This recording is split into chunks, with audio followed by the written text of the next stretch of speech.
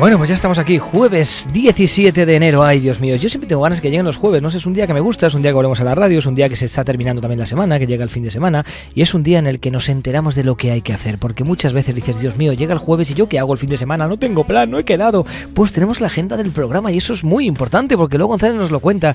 Y tenemos muchas cosas los jueves, tenemos un sumario calentito, así que cambiamos de emisora. No, no, no, no, no se va al baño. No, no, no, tranquilos, tranquilos. Una horita de programa que resume lo siguiente.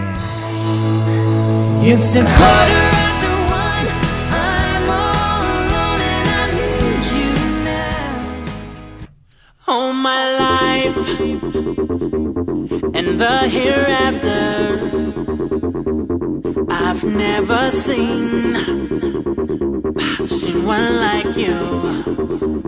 Uh, you're a knife. Pues aquí estamos, aquí estamos con el sumario Beautiful Monster y yo, una canción clásica, una canción que abrió la primera temporada de Amanece la Noche, me acuerdo yo mucho cuando estaba Víctor, Sonia, eh, bueno, Chema estaba todavía, que siempre sonaba esta canción, era como sumario, todos ahí entregados. Bueno, tenemos la Lo González en la agenda, con Pilar Gómez, actriz monologuista de teatro independiente, una mujer que se va a desnudar con Lo González, que le va a contar pues un montón de cosas, se va a desnudar por dentro y por fuera y luego agenda cultural con ella, todo en el siguiente bloque, lo que viene justo después de este sumario, vamos.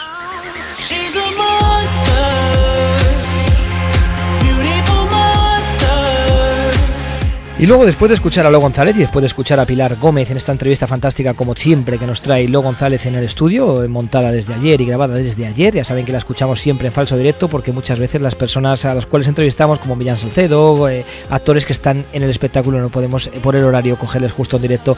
Tenemos a Chema Gómez en el Entérate. El Entérate esta semana viene con cuatro noticias muy variadas, eh, algunas de animales, como serpientes y gatos, y bueno, se las va a contar él, pero más o menos en un anticipo así, les voy a contar cómo un hombre es capaz de sobrevivir a un clavo clavado en el corazón, con 19 años, argentino y carpintero.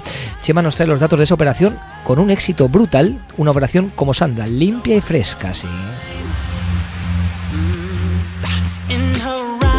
Y luego trae noticias de animales. Una pitón que es capaz de estar en, una, en el ala de un avión mientras el avión aterriza y despega, sigue la pitón en el ala. Esto es surrealista, no, no, pero ha pasado también. Y encima la pitón es posible que llegara incluso viva.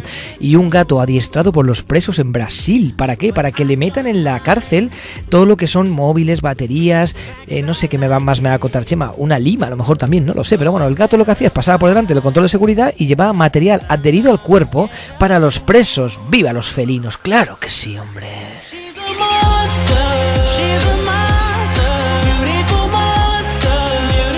Y luego también trae noticias esotéricas, porque Chema es muy completo y va a traernos una noticia de China en el cual los alumnos en la universidad están separados por el signo del zodiaco. Esto sí que tiene tela también.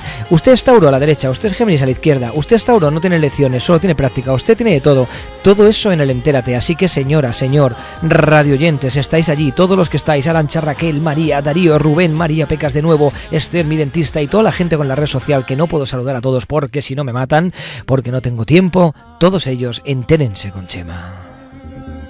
Mm. and she's playing with my mind. And I don't mind. Y que no se me olvide, porque al final tenemos las cuatro noticias más relevantes de la semana, cuatro noticias seleccionadas por el equipo de Amanece en la Noche, hemos decidido hablar de ellas porque consideramos que tienen un interés general, un interés importante y que la gente los ha escuchado seguramente en la televisión. El dopaje de Lawrence Armstrong, Louis Armstrong, como le digo yo a Chema, un hombre que hoy a las 3 de la madrugada se emitirá esa entrevista con Oprah Winfrey, que la han hecho allí en Estados Unidos y efectivamente el hombre reconoce el dopaje. Tenemos una noticia del plan de los coches, ya saben que ese, ese plan que tenía el gobierno de 2.000 euros y bueno, pues por la ayuda de comprarse un vehículo nuevo, eh, bueno, creo que todos lo conocen, el plan PIBE, ya luego se lo contamos, el plan PIBE en plan argentino.